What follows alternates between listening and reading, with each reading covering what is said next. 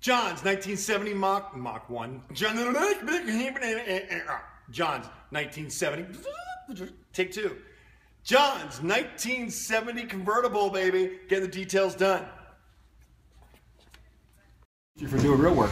Oh, I have that on video too. That's the funny part.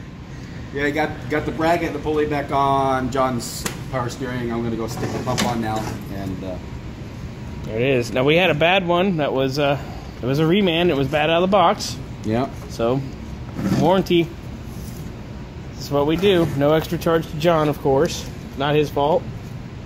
And yeah, we but just- we're gonna beat the parts people up. Yeah. Yeah. We give him a little flack. All right, Joe's gonna go put that on, and we're not gonna have For a any second leaks. time. Yeah. No more leakies. And away we go. I cannot. I can't get this thing to start, man. It, the, uh, the fittings are something are different. It's just it, it, it starts, but it wants to go crooked. So I've got to reinspect. Where's the old pump at? You have the old pump still? No, we sent that. Not the old pump. Okay. The old old pump origin left a long time ago. Okay.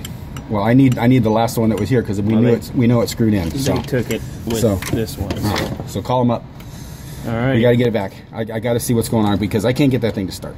All right.